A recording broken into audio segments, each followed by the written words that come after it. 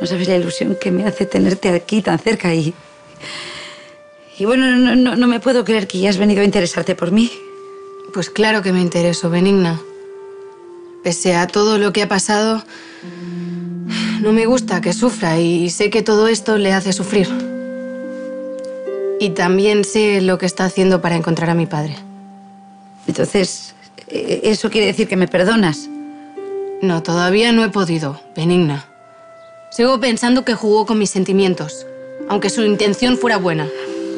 Hija mía, no- pero no, no hay día que pase. No, está- estamos solas, estamos solas. No, no hay día que pase que no me diga, Benigna, fuiste demasiado lejos. Y le pido a mi Benito que me ayude a no ser tan lianta. Yo solo quería decirle que pese a todo la aprecio mucho. A usted y a Quintero. Y ahora tengo que ir al obrador. No, no, no. Verás, yo. Yo solo quería protegerte, Virginia, y. y que no sufrieras, no hacerte daño. De ahí, la primera mentirijilla. Y luego, claro, la cosa se fue embrollando y se me fue de las manos. Ya, ya lo sé, y por eso no hay día que no rece por usted. La tengo muy presente en mis oraciones. Pu- Pues a mí me pasa lo mismo contigo, Virginia. No hay día que no le pida al santo niño del remedio que te ayude y te proteja. Porque tú para mí eres. eres como una hija. Y no sabes la pena que me da que nos hayamos distanciado tanto, porque. Anda, que no hemos estado unidas tú y yo, ¿eh?